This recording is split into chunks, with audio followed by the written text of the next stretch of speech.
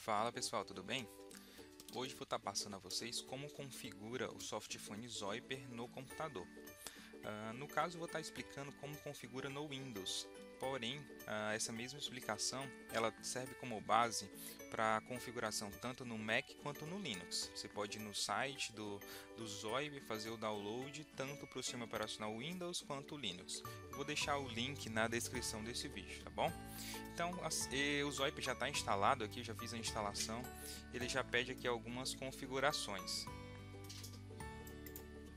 As configurações que ele solicita, no caso, seria a username e password.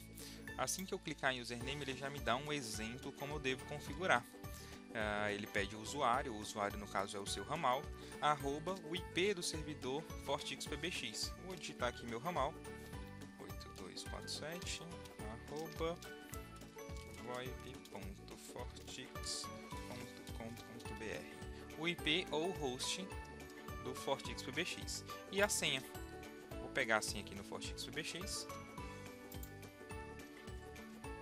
Ok, peguei a senha, colocar a senha, clicar em login.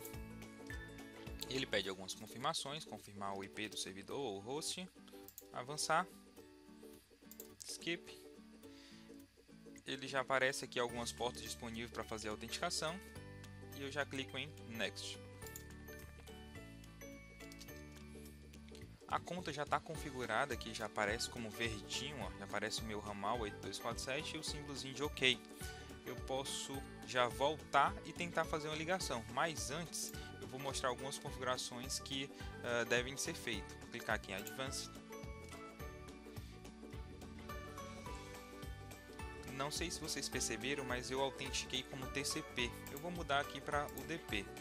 Mantendo o DP, ah, a configuração fica ideal, tá bom? E os codecs. Os codecs, uh, ele vem por padrão preferencial esse Opus 16000. O ideal seria colocar o ALAU.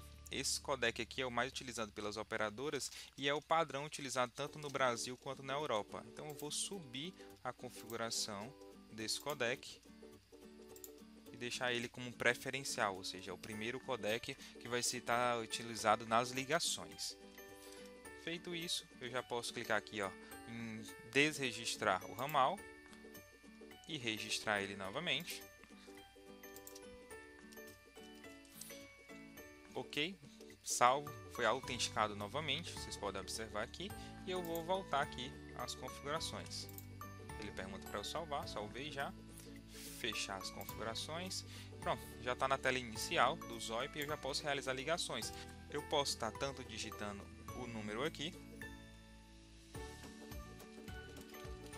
Como também posso estar editando no Diepeld.